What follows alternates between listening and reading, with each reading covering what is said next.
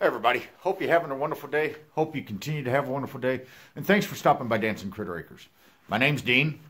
If you're new to this channel, do me a favor. Check out my other videos. See if the content that I post is something that you're looking for.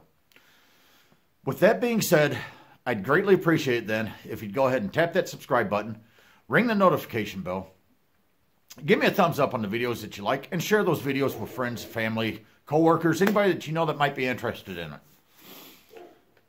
leave a comment, okay?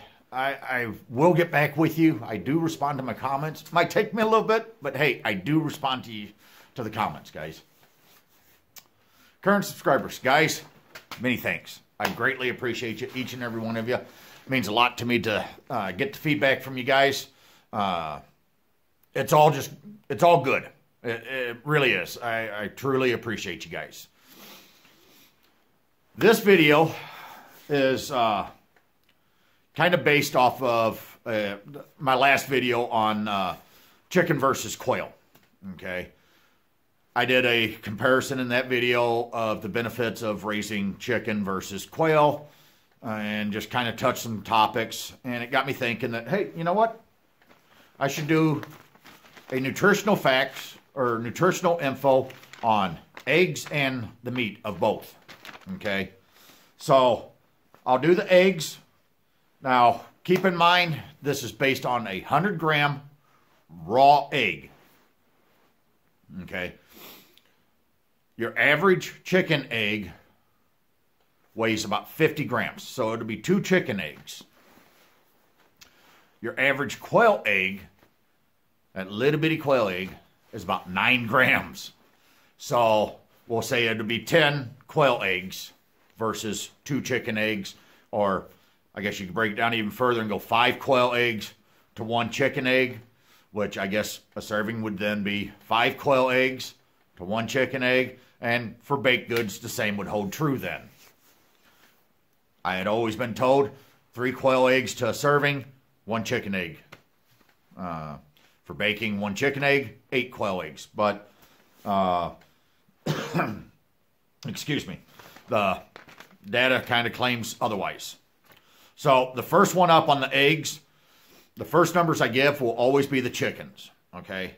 The second set of numbers, obviously, will be the quail. In chickens, they're in water is 76.15 grams. Okay. Down to quail eggs, it's 74.35 grams. Energy, 143 kcal to 158 kcal. Protein, 12.56 grams, 13.05 grams. Total fats, 9.51 grams, 11.9 or 09, sorry, 11.09 grams. Now, the yolk in a quail egg, and that's where your fats and your cholesterol and other things are, is in the yolk, is higher ratio than the white in the quail egg versus compared to a chicken egg. Carbs 0.72 grams in the chicken, 0.41 in quail. Sugars 0.37 grams, 0.4 grams.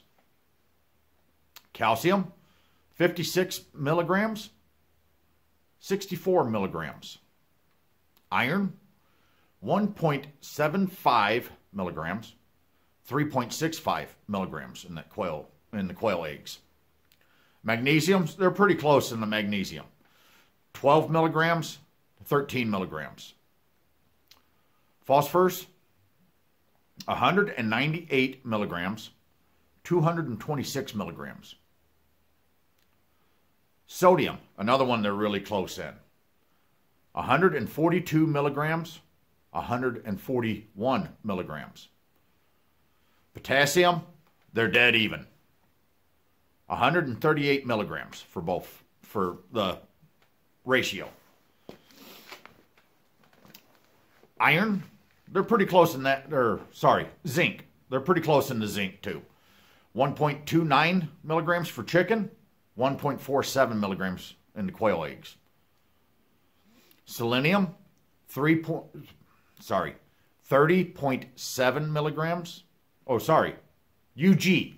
UG, and I'm not sure what that means. Is that ultragram or what? Somebody that knows, there's there'll be a couple others, so leave them in the comment and let me know. Okay, it's 30.7 UG compared to 32 UG in selenium. Vitamin A, 160 UG, 156 UG.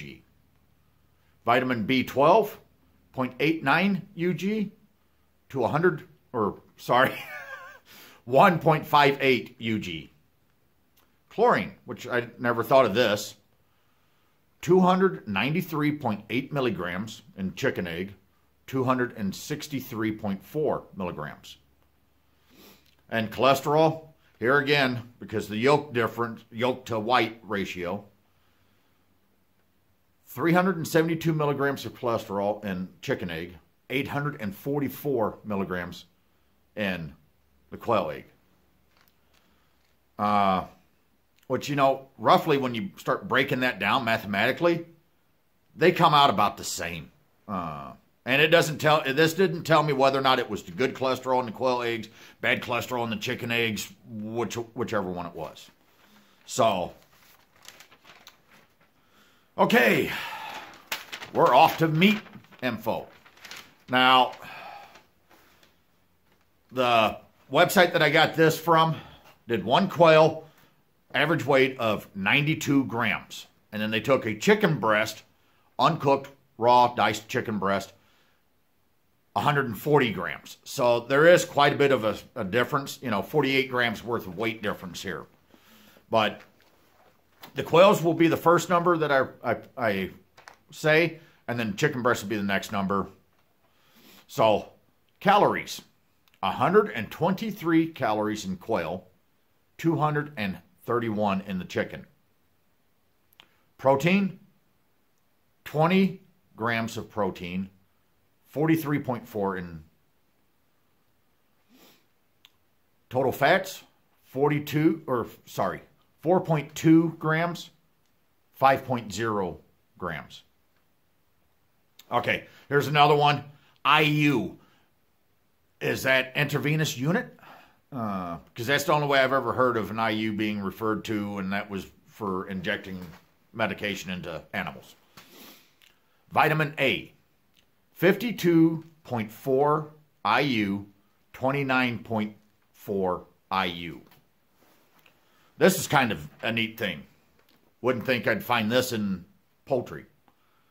Vitamin C, 6.6 milligrams of vitamin C in quail, none in chicken. Omegas, 3, 46 milligrams, 98 milligrams in the chicken. Omega 6, 856 milligrams, 826 milligrams. Calcium, 12 milligrams, 21 milligrams. Iron, 4.1 milligrams in quail, 1.5 milligrams in chicken.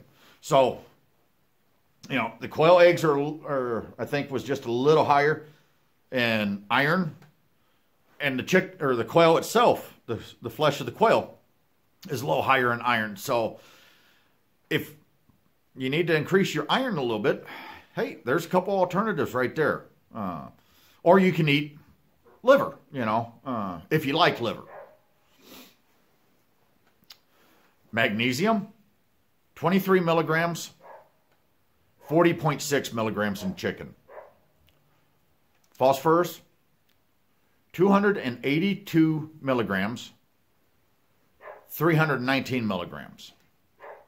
Potassium, 218 milligrams, 358 milligrams in chicken. Sodium, this kind of floored me. I kind of figured they'd be about the same. Sodium in quail is 46.9 milligrams and a 92 gram serving, and a 140 gram serving of chicken breast, it's 104 milligrams. Now that's raw, uncooked, which obviously nobody's going to eat that away. But that was kind of interesting. Zinc, 2.5 milligrams, 1.4 milligrams. Copper, 0.5 milligrams to 1.1 milligram.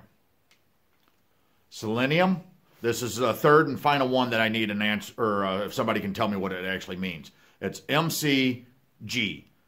Is that a microgram? And if so, what is a microgram? Selenium, 16 mi- micrograms compared to 38.6 micrograms. Last but least, cholesterol, 64.4 milligrams to 119 milligrams. So I hope this helps out, guys. I really do. Uh, I enjoyed doing the research and learning some new stuff. So thank you guys. Uh, and, uh, you know, uh, I, am sure you can see the my breath every once in a while in the video. It's cold out here in my shop. It's like 15, 16 degrees. And uh, so I'm going to go, guys. I'm going to sign off because I'm cold. Uh, and, you know, as always, guys, I hope you're having a wonderful day. I hope you continue to have a wonderful day. You guys take care of yourselves. Best wishes to each and every one of you. Look forward to seeing you guys in the next video. This is Dean from Dancing Critter Acres, signing off. Bye, everybody.